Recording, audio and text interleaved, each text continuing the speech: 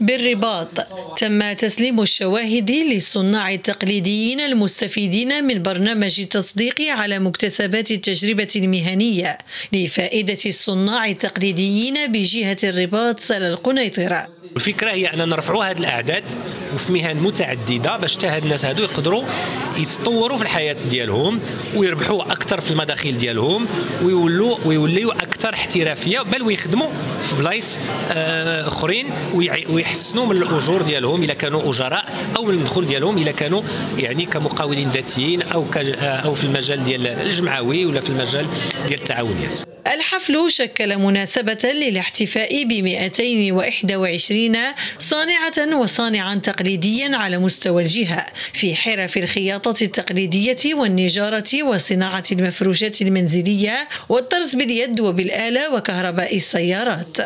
جات هذه التجربة يعني التنفيذ ديال النصوص القانونية في هذا الإطار هذا باش تعطيهم هذه الدبلومات المعترف اللي كتعترف لهم بهذه التجربة المهنية. على أساس أنه السنة المقبلة إن شاء الله غادي نعمموا هذه التجربة على ستة ديال الجهات افق أنها تعمم على المستوى الوطني.